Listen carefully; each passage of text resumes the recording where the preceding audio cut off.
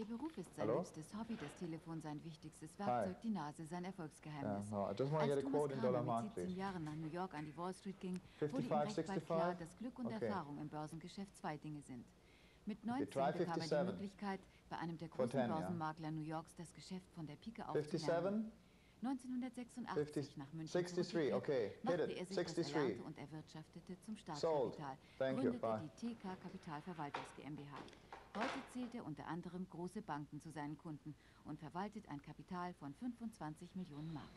Ähm, also wir haben jetzt für die Firma 10 Millionen Dollar gekauft und äh, wenn der Dollar einen Pfennig steigt, bedeutet das, dass wir 100.000 Mark verdienen würden. Aber wenn der Dollar um einen Pfennig fällt, hätten Sie 100.000 Mark verloren. Ist Dann- das Pech? Na, Pech nicht, dann haben wir eine Fehlentscheidung getroffen und äh, wir würden also aus dem Dollar wieder aussteigen, wenn er circa drei Pfennig fällt. Arbeiten Sie allein oder in einem Team? Ähm, sagen wir mal so, ich arbeite mit einem Team, aber in der Entscheidungsfindung stehe ich dann allein im Wald. Ich habe also in dem Sinne keine, ich habe niemanden, der äh, mit mir Entscheidungen diskutiert. Das möchte ich auch nicht. Sie haben also einen achtköpfigen Beraterstab. Ähm, ich würde sagen, wir haben hier eine Art Denkfabrik. Wir haben hier etwas, was es wahrscheinlich global auf der Welt nicht nochmal gibt. Und äh, das ist eine Mixtur von Wissenschaftlern im Informatiksektor bis hin zu ähm, gesellschaftspolitisch orientierten äh, Reformisten. Wir haben also hier eine, eine Fabrik, die im Prinzip Denkanstöße für die Zukunft geben soll und Trends vor, voraussehen und ausdiskutieren soll, bevor sie überhaupt marktopportun werden. Das ist also, man kann sagen, es ist nicht ein typisches Vermögensverwaltungsbüro, mit Sicherheit nicht. Weder von der Ausrichtung noch von der Einrichtung. Wie alt waren Sie, als Sie Ihre erste Aktie kauften? Ah, 14 Jahre. Mit 14, naja. Das ist, ähm, ich war damals in der Schule, im Internat und wir hatten eine, sehr den Aktien gegenüber aufgeschlossene Sozialkundelehrerin, die uns also beauftragte, mal eine Spalte Aktien eine Woche lang zu beobachten, die Kursentwicklung einer Aktie für eine Woche zu beobachten. Äh, Die Aktien, die ich betrachtete, waren die Versicherungen. Eine dieser Versicherungsaktien stieg um 150 Mark, von 450 oder 500 Mark auf 700. Also jedenfalls um 150 Mark. Und damals hatte ich etwa, äh, mein Gesamtvermögen belief sich damals etwa auf 500 Mark. Also hätte ich bei einer eventuellen Anlage am Montag, am Freitag eine 150 Mark Steigerung gehabt. Und das hat mich fasziniert. Das war einfach irgendwie, wie soll man sagen, so, so eine, eine, ein Initialerlebnis, was man halt in seinem Leben hat. Und dieser Gedanke, dass man aus Geld Geld machen kann, ohne dafür groß zu arbeiten, ohne dafür halt Autos zu waschen oder Zeitungen auszutragen, das ließ mich nicht mehr los. Und einige Monate später kam dann eine Möglichkeit, eine Aktie zu kaufen. Und zwar, ähm, ich muss da etwas ausholen. Wir haben also viele, meine Familie hat viele Freunde aus Amerika. Und die kamen auch oft zu Besuch und immer wenn die kamen, das waren so Erlebnisberichte aus, als ich 10, 11, 12 war, dann kamen die alle vom Flughafen und das erste, was die machen, die stürzten sich über den Kühlschrank und tranken unser Bier. Und ich hörte immer, oh, your beer, we love your German beer. Ah, wunderbar. Jedenfalls die, die Möglichkeit jetzt übertragen von diesem Beispiel kam, dass die Henninger, eine Frankfurter äh, Brauerei, also eine Tochtergesellschaft in Amerika eröffnen wollte und äh, eine Aktiengesellschaft. Und ich dachte, Mensch, wenn die Amis bei uns das Bier so gerne trinken, dann trinken sie es da drüben auch gerne. Das muss ein Erfolg werden. Und das war erste, das erste Mal, dass ich für mich selbst die Entscheidung traf, diese eine Aktie aus diesen vielen Tausenden, die man da kaufen kann, rauszusuchen und zu kaufen. Und ich zeichnete die Aktie, äh, beziehungsweise ich wollte die Aktie zeichnen. 5 Mark sollte die, das Stück kaufen, ich wollte also 100 Stück kaufen. Ich nahm also mein Geld aus dem Sparstrumpf und marschierte zur ersten Bank. So, die Bank sagte, so mein Lieber, wie alt bist du denn? Äh, so und so alt. Ja, gut. Dein Personalausweis? Ja, wunderbar, danke, auf Wiedersehen. Komm wieder, dein Vater, schick deinen Vater, deine Mutter. Du bist nicht, ähm, was immer, ich bin nicht volljährig oder was. Ich darf jedenfalls sowas nicht machen. Ich darf keine Aktien kaufen. Naja, na, das ist aber, ich bin nun mal doppelter Stier. Also ich bin im Zeichen des Stieres geboren und mein Aszendent ist auch Stier. Wenn ich mir was in den Kopf gesetzt habe, dann will ich das auch. Und schon damals merkte ich, dass es auch manchmal klappt. Und dann habe ich ähm, bei der nächsten Bank einfach äh, mit ein bisschen äh, nachgeholfen. Also ich habe mit Bleistift so ein bisschen nachgeholfen. Ich habe aus der 57 eine 53 gemacht. Es ging. Plötzlich hatte ich mein Konto.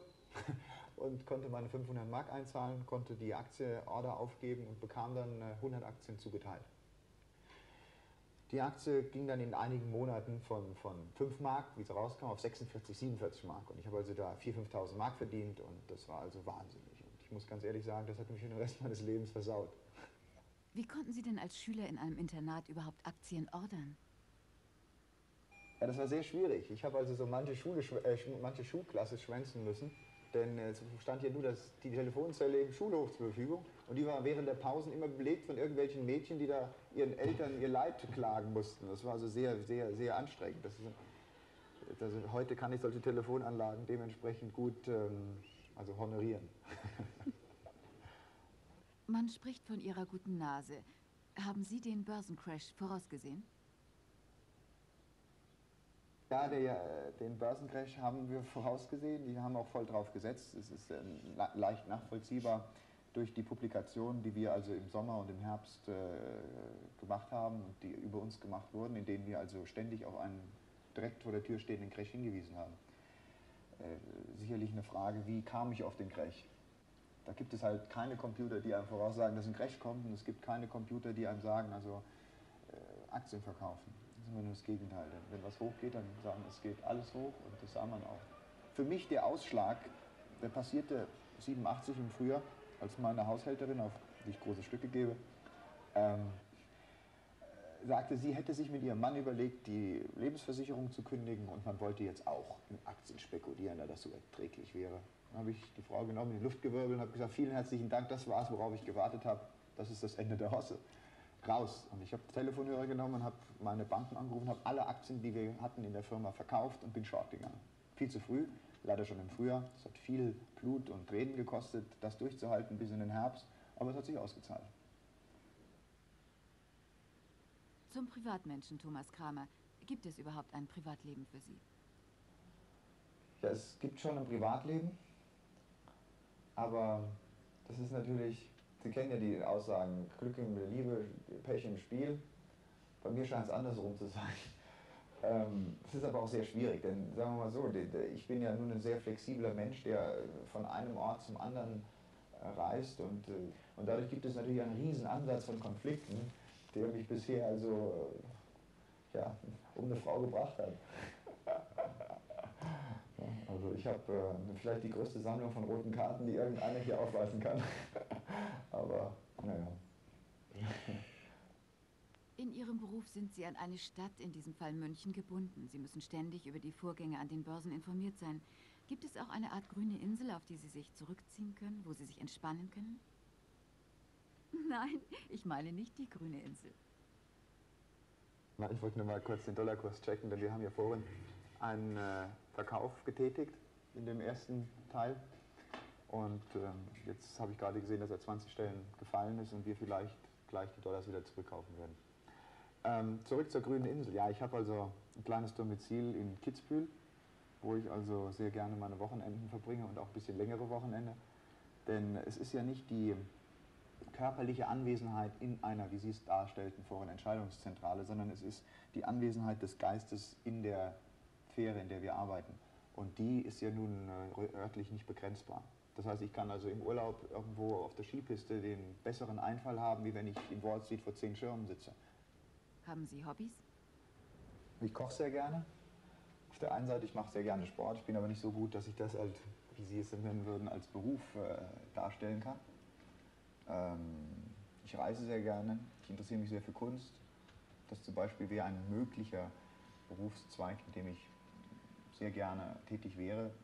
Ich hatte schon selbst immer mal die Idee, eine Galerie aufzumachen in New York, weil halt für mich erstmal New York das Kulturzentrum der Welt schlechthin ist.